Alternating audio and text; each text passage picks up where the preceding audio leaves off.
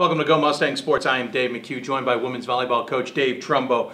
Coming off of a semifinal win in conference tournament action, heading into the championship. A lot to talk about there, but let's back up a little bit. Talk about the weekend that you guys had in non-conference action, Lynchburg and Muhlenberg. You and I talked about how this was an important weekend going in. You guys played pretty good volleyball. We did, as did the other teams. Really Sure. competitive weekend. Uh, started off with Muhlenberg. They were uh, fifth in the region. We Yeah, were fourth, right. so I probably couldn't have scripted it any better.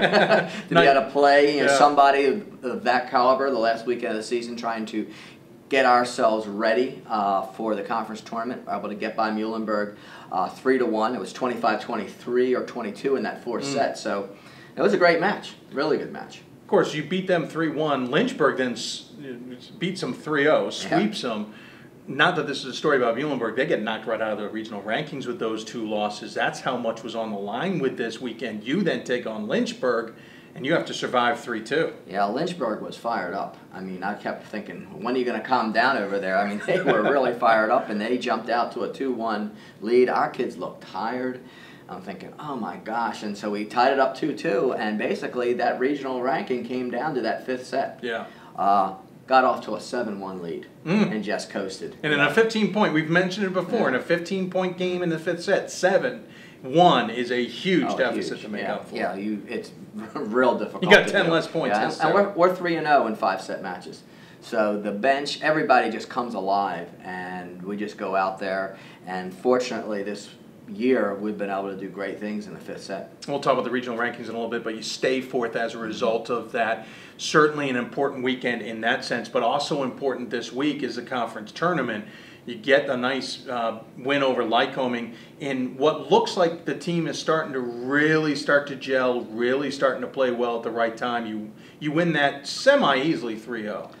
Lycoming it, it, it beat Widener in the 4 5 playing Right. game. Widener is, you know, they played Lebanon Valley to 3 2. They played us tough. All the games were in the 20s. So if we're thinking we're going to play Widener, and Lycoming beats them 3 to 1, Right. and but comes down here, and sometimes the matchups Sure. that you have with people, we and we were ready. We had two great days of practice, and that's probably one of the best matches. Take away who was on the other side. We just Sure. played great. Right. You know, we served the ball. 16 aces. That's incredible. You know, we hit over 300. We kept them below. They hit like 057.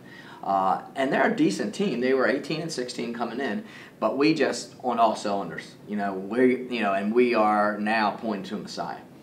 And Messiah's the big matchup coming up. Quick thing about the Lycoming game, though. You mentioned the 16 aces. Sammy was six of those. Uh, you know, it's it's it's tough to ace in volleyball in general because there's so many people on the court. But to get six from one player, get 16 as a team, you're hitting well, you're defending well. Everything does seem like it's in sync. As a coach, you got to be pretty proud of that. But maybe trepidatious that how long does that run run? I, I really think it's going to go. Um, we have not played. Okay, we should be able to beat Lycoming. Sure. Uh, easier said than done. Right. But that's the first time this year where we just went out and thumped somebody. Uh, we just played the way we can play for three straight matches. Nice. Uh, as by this time, our freshmen are no longer freshmen. Right. They've got 33 matches under their belt, so they're sophomores now. And uh, so we've got some- a lot of experience. We've got a lot of momentum flowing, and uh, you know, Annika Swartz, freshman, had uh, 13 kills, four aces, um, passed almost flawlessly, and as it did everybody, passed the ball really well last night, off serve receive. So, real pleased.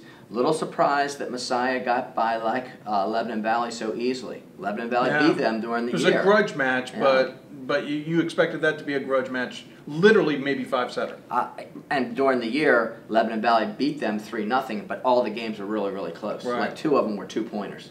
So I'm thinking it's going to be like that one. The first game, it does 25-23 Messiah, but then after that they beat him good. Yeah, it wasn't So- even much of a match. so here we that. go. Third time in I a was row. gonna say, here we go. Messiah back up, third time in a row. They would love to knock you Oh, guys boy. off the table for sure. Oh yeah. Uh, you guys are protecting the home court once again. Want that championship to yourself. There's a lot of ramifications before we get to those. How how are you matched up with Messiah? You've had your battles with this team. You know they're coming gunning for you. How do you see yourselves lining up? Well, they have uh, who they have got two fantastic outside hitters, both from Carroll County, um, who were freshmen last year. So they're a lot more mature. Sure. And uh, they got in the championship last year, and I think we're a little bit shaky. Um, this year, I think that's different. But what they did lose, they lost their setter last year, who was their glue. So they've got a sophomore setter who's not been in this time, type Sure. of game before. Uh, although when we played them up there, she played fantastic. Another Carroll County kid. They all were on the same club. And they all went to went to Messiah. Uh, so they're all sophomores. They've got four kids all from Carroll County that play a huge role in their team. Yeah. And of course, I'm from Carroll County. Yeah. Our setter, Sarah hurts you a Collins is from bit, Carroll doesn't it? County. Lauren Weaver, our right side from Carroll little. County. Well, you can't get them all. We've got, you know, we've got our share. We, But it, sets up a nice rivalry there. Right. Oh yeah. Well, hey, Sarah was Player of the Year. Our setter was Player Yeah. of the Year in Carroll County. Lauren Weaver, she was Player of the Year last year in Carroll County. Yeah. So hey. The best, the best will face off against each other. Well, it, it'll and it'll be a great match, and we have a lot of respect for them. Sure. Uh, yeah, to be honest, some teams you know you just don't like them that much. Yeah. Messiah's not one of those teams. They're great kid. We, we like him. We're friends.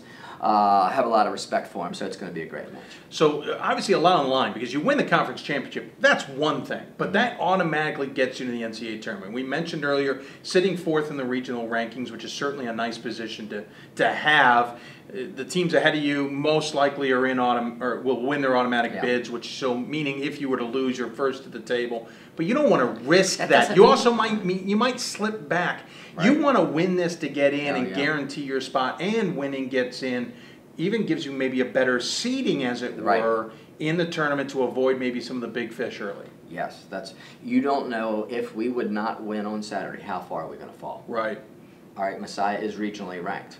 Okay, so um, that's It, it's Act- helpful, but yeah. it may not be Right. totally helpful. right, and it. so It may help them more than it helps you. It's going to depend on what Haverford does. Haverford and Sure. Swarthmore are the two that are underneath us, both from Centennial, and they may meet each other Right. in the finals. Um, There's too much at stake, too much up in the air, too Right. much juggling. can't take the chance. Well, obviously, we're not going to take the chance. chance, right. But uh, yeah, and and we want to get a good seed. We'd like to avoid Eastern Juniata and Christopher Newport in that first round. You know, and if you're the fourth seed, or one of them goes somewhere else.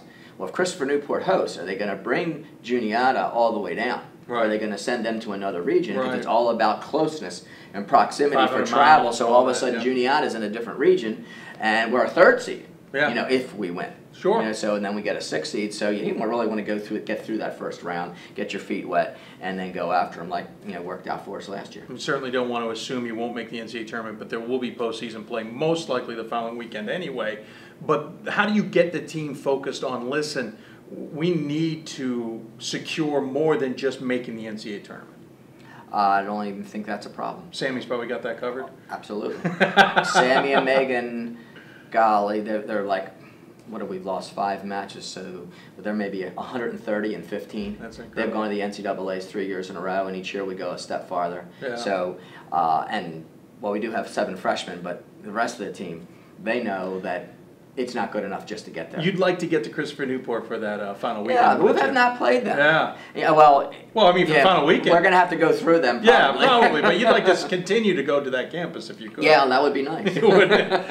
Um, you talk. We've talked about players throughout the year that have stepped up or have had good seasons. One of them you mentioned already, freshman uh, Schwartz, really outside hitting, has really stepped up for you. Has really had a good season, and you said in the past week she's had a really good week. She's had a really good couple of matches. She played pretty well when, against the um, second, third, and fourth ranked teams in the region. Uh, she's been playing really well. Um, the whole team's been playing well. Both of the outsides. Chris, Kristen Brooks has been unbelievable um, defensively uh, in the back row. She's our other outside, Mhm. and uh, so and now Lauren Weaver's starting to really play well on the right side. Another freshman. Um, Sarah Bollinger, our setter, I think she's playing the best she has all year, and Meg Miller, our our middle, um, had a couple of you know hit 370 in one of the matches over the weekend. Wow. And then I'd be remiss if I didn't talk about Kelly McKenzie, who uh, has stepped in uh, for Kelsey Stave, who's back with, out with an injury. Right. Uh, Kelsey McKenzie against Muhlenberg has her career game. That's incredible. 20 swings, 12 kills. Wow. Yeah, so and two errors, so she hits 500, gets a couple of blocks, and um, six one. She's gaining lots of confidence. So I th- we're right the right spot. I was going to say, really hitting your stride at the Yeah. right time of the year. Yeah, there's no there's no question, and I think they can feel it too. Well, it's certainly been fun to watch. One more game of the regular season Conference Championship coming up at Owings Mills State, or Gymnasium, I should say. It'll be against Messiah. The game will take place at 2 p.m. You can certainly watch it online at GoMustangSports.com or just show up to the gym to watch the championship game there. And of course, then we'll wait, I believe, was it Monday? You will find out uh, what the NCAA tournament uh, results will be. So Monday at 11, we will find out where Stevenson is headed in the NCAA tournament. For Coach Dave Trumbo, I'm Dave McHugh. You, we will check in with the team next week before that uh, postseason action takes place, find out how things shaped up and how they're looking moving forward. You're watching Go Mustang Sports.